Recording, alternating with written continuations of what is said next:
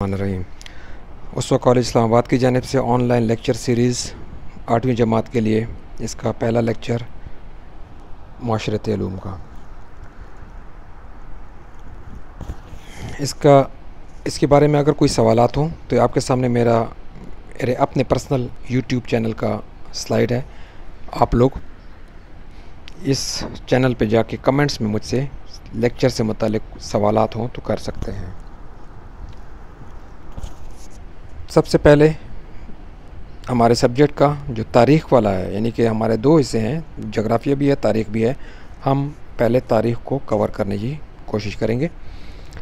तो तारीख़ हम पढ़ेंगे, इसमें पहला जो चैप्टर है, बरतानवी हुकूमत का इस्तेकाम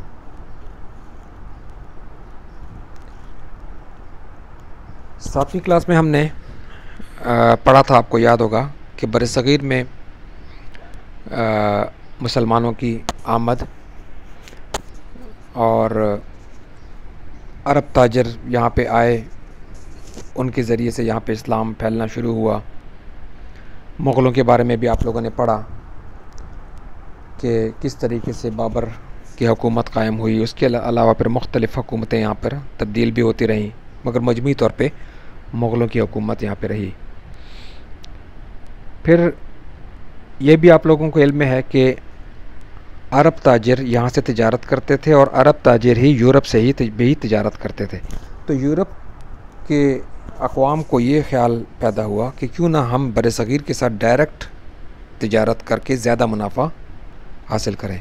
इस सिलसिले में वास्को डेगामा ने बहरी रास्ता यूरोप से बर सग़ीर का बहरी रास्ता दरियाफ़्त किया और उसके बाद पुर्तगीज़ी यहाँ पे आए और उन्होंने यहाँ इस इलाके के साथ तजारत शुरू कर दी।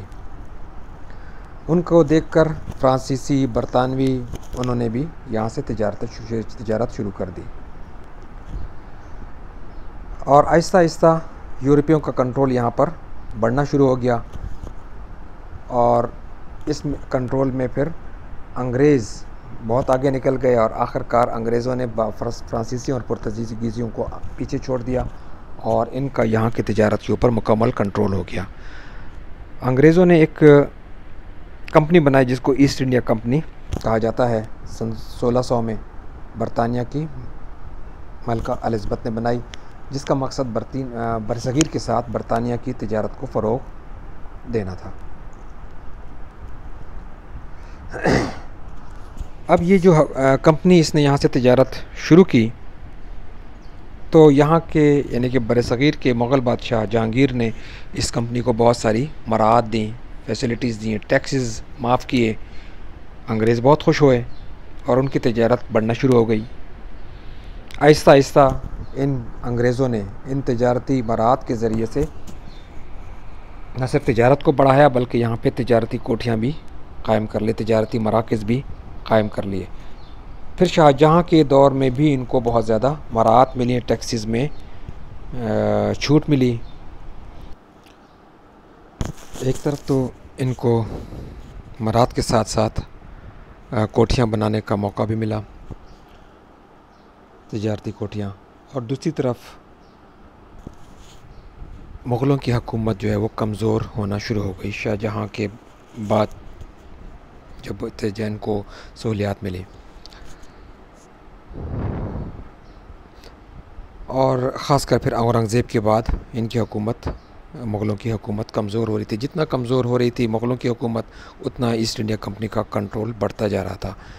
अंग्रेज़ों ने इसका फ़ायदा उठाया और तकरीबन यहाँ का बहुत सारे मामला पर अपना कंट्रोल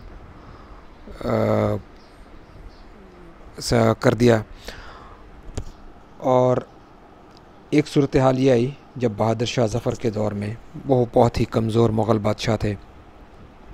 उस दौर में जंग आज़ादी हुई, अठारह में, जिसमें हिंदू और मुसलमान दोनों ने हिस्सा लिया था। मगर अंग्रेज़ों ने ये यकीन किया कि मुसलमान ही इस जंग आज़ादी के ज़िम्मेदार हैं। लिहाजा उन्होंने इस जंग आज़ादी के ऊपर काबू पा लिया और मुसलमानों से बदले भी लेने शुरू कर दिए। ईस्ट इंडिया कंपनी की हुकूमत अठारह सौ अट्ठावन में ख़त्म हो गई और अठारह सौ अठावन में ही बरसग़ीर का इलाका ताज बरतानिया के ज़ेर तसलुत आ गया। यानी कि बाकायदा बरतानिया की नौ आबादी करार पाया। और इस सिलसिले में यहाँ पर एक वायसराय बनाकर भेजा गया सबसे पहला लॉर्ड कैनिंग अठारह सौ अठावन में। और जो वायसराय होता था वो बरतानिया की मलका का नुमाइंदा होता था। क्योंकि बरतानिया की हुकूमत को पता था कि यहाँ पर ये जो जंग आज़ादी हुई अठारह में, इसकी वजह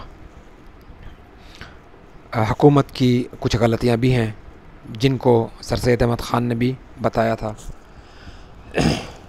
लिहाजा अब उन्होंने गालिबा ये कोशिश करनी शुरू की कि अब वो गलतियाँ दोबारा ना हों। तो लॉर्ड कैनिंग ने अलाहाबाद में एक शाही दरबार से जो ख़िताब किया, उसमें जो अहम नक़ात पेश किए, एक तो ये कि यहाँ के तमाम लोगों को माफ़ कर दिया जाएगा, सिवाय वो जिन्होंने अंग्रेज़ों की मखालफत की थी इस जंग आज़ादी में, जिसको अंग्रेज़ जंग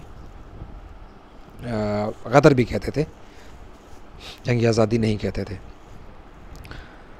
आइंदा कवानीन बनाने के लिए बनाते वक्त बरसग़ीर के लोगों के मिजाज का, उनके मज़हब, रसूम रसूम और रिवाज का ख्याल रखा जाएगा। ये भी क्योंकि उनका अंदाज़ा हो गया था कि हमसे कुछ ऐसे कवानीन बने हैं जो कि यहाँ के मिजाज के ख़िलाफ़ हैं। आइंदा कोई मजहबी, नस्ली, किसी भी किस्म का तसब नहीं किया जाएगा और लोगों को उनकी काबिलियत के मुताबिक, तालीम के मुताबिक और किरदार के मुताबिक मुलाजमत में हिस्सा दिया जाएगा। इससे पहले उनको यहाँ के लोगों को ये भी एतराज़ था कि बरतानिया की हुकूमत यहाँ की लोगों की विरासती जायदादों पर कब्ज़ा कर लेती है। तो आइंदा के लिए कहा गया कि इस तरह की कोई भी मुदाखलत हुकूमत नहीं करेगी। शर्त यह है कि उस विरासत, उस ज़मीन पर ज़रूरी ज़मीन पर जो टैक्स लगे हैं वो बाकायदगी से अदा किए जा रहे हों। इसके अलावा जो यहाँ की शाही रियासतें, जिनको देसी रियासतें कहा जाता था, मिसाल के तौर पे कश्मीर भी एक इसी किस्म की रियासत थी, जो कि अंदरूनी मामला में ख़ुद मुख्तार थी। तो इनके मामला में भी दखल दखल अंदाजी नहीं की जाएगी। और जिस तरह ईस्ट इंडिया कंपनी ने इन रियासतों के साथ माहदात किए थे, उसके ऊपर अमल किया जाएगा। ये लॉर्ड कैनिंग ने अपने पहले ख़िताब में, अलाहाबाद में कहा। अब यहाँ पे जब अठारह सौ अट्ठावन के बाद हकूमती ढांचा बनाया गया, बरतानिया ने जो बनाया, उसमें वो कुछ इस तरह से था। मलक बरतानिया, जो सबसे ऊपर इस ढांचे में थी, उसके बाद वज़ी अजम बरतानिया, उसके बाद वज़ी अमूर हिंद, जो कि बरतानिया ही की कानून साज इदारे यानी पार्लियामेंट का एक मेंबर होता था, वो हिंदुस्तान के मामला अमूर मतलब अमर से है, मामलात को की देखभाल करता था। तो ये वज़ी अमूर हिंद, ये तीनों बरतानिया में रहकर बरतानिया के मामला को देखते थे। इसके साथ एक कौंसिल बनाई गई, कौंसिल ऑफ़ इंडिया, जिसका की सदारत वज़ी अमूर हिंद ही करता था। और इनका काम था कि इंडिया के मामला को की देखभाल करें बरतानिया में रहते हुए और वज़ी अजम और मल, मलक बरतानिया को मशवरे दें और ये सब मिलकर हिंदुस्तान के बारे में पॉलिसीज़ बनाए। वज़ी अमूर हिंद के बाद वायसराय जो बरतानिया से ही भेजा गया होता था और मलक बरतानिया का नुमाइंदा होता था बर सग़ीर में उसका अहदा आता था इस वायसराय के बाद सूबों के गवर्नर होते थे, जो ये गवर्नर वायसराय को जवाबदेह होते थे और वायसराय जो है, बरतानवी, बरतानिया में बरतानिया की हुकूमत वज़ी अमूर हिंद और वज़ी अजम और बल्कि बरतानिया को जवाबदेह होता था। इन गवर्नर्स के नीचे सिविल सर्विसेज़ के अफसरान, सिविल सर्विसेज़ से मुराद हम जिसको सरकारी अफसरान कहते हैं, डिप्टी कमिश्नर पुलिस का ऑफिसर जो होते हैं, ये तमाम ये होते थे। ये जो अफराद होते थे, ये सूबे सूबे के गवर्नर को जवाबदेह होते थे। तो ये इंतज़ामी ढांचा बनाया गया।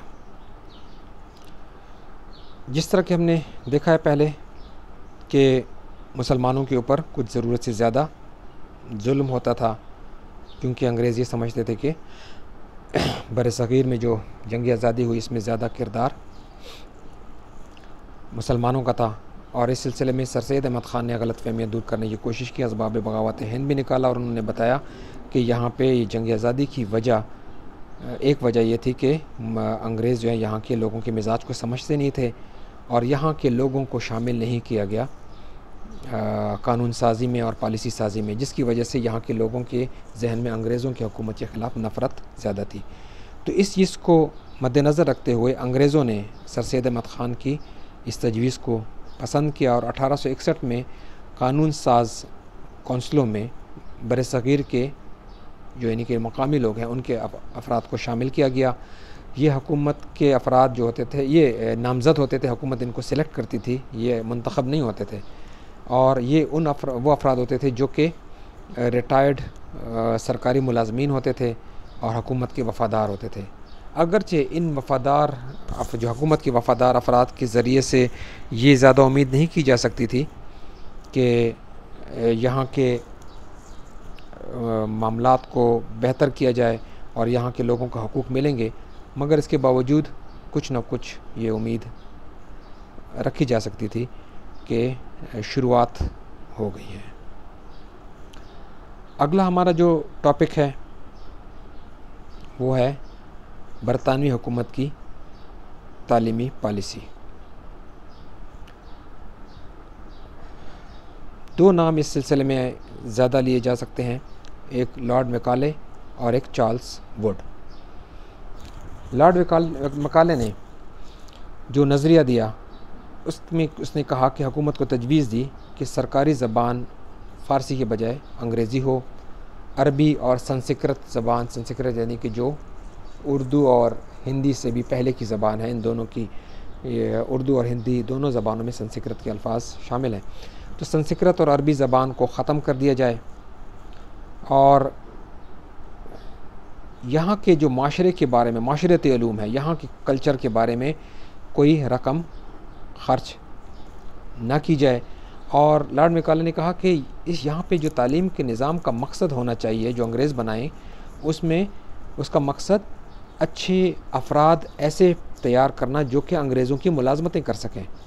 और बर में जो मगरब के साइंसी हैं, उसको फ़रोग दिया जाए। ये यहाँ की तालीम का मकसद होना चाहिए और इसके अलावा मकामी ज़बानों के बजाय अंग्रेज़ी ज़बान के ऊपर ज़्यादा ज़ोर देना चाहिए। ये लॉर्ड मकाले जो है बरतानिया का एक तारीखदान और सियासतदान था और बर सग़ीर में हुकूमत की तालीमी कमेटी का सरबराह।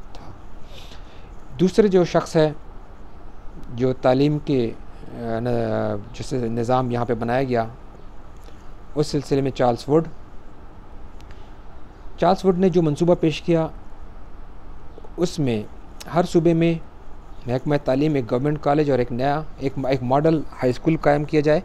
और लंदन यूनिवर्सिटी की तर्ज पर बम्बई कलकत्ता और मद्रास, जिनको जिसको अब चेन्नई कहा जाता है, उसमें एक यूनिवर्सिटी कायम की जाए, जो टेक्निकल और कानून की तालीम की का बंदोबस्त करेंगे। और दीगर स्कूलों और कॉलेजों के तलबा के इम्तहान लेकर उनको डिग्रियाँ देंगी। यानी कि ये यूनिवर्सिटीज़ जो हैं, इनका काम होगा कि दीगर स्कूल और कॉलेजों के इम्तहान भी ले। उसका ये भी मशवरा था कि प्राइमरी ज़बान जो है, प्राइमरी तालीम जो है, वो मकामी ज़बानों में दी जाए।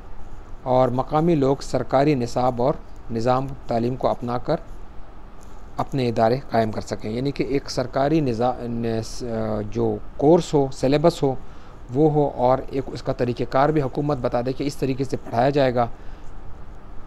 और अगर कोई शख्स अपना इदारा, तालीमी इदारा कायम करना चाहता है तो उसके लिए लाजिम हो कि हकूमत का ही निसाब पढ़ाएगा और हुकूमत के तरीके से ही पढ़ाएगा। और जो ये करता है तो उसको ग्रांट दी जाएगी, उसको माली इमदाद दी जाएगी। इसके अलावा चार्ल्स वुड ने यह भी कहा कि इस की तरबियत के इदारे कायम किए जाएँ और इस की तरबियत जो है मकामी ज़बानों में की जाए। जिस जो जो इलाके की ज़बान है, वहाँ की उसमें की जाए। इसके अलावा उसने ख़वान की तालीम के लिए गर्ल्स स्कूल कायम करने का भी कहा। चार्ल्स वुड जो था, ये ईस्ट इंडिया कंपनी के बोर्ड ऑफ़ कंट्रोल का सदर था। और ये इसने मंसूबा अठारह सौ चौवन में पेश किया, जिसे वुड्स डिस्पैच भी कहा जाता है। अभी के लिए इतना काफ़ी है। फिर आगे जो है हम अगले लेक्चर में अंग्रेज़ों की मुआशी पॉलिसी के बारे में पढ़ेंगे।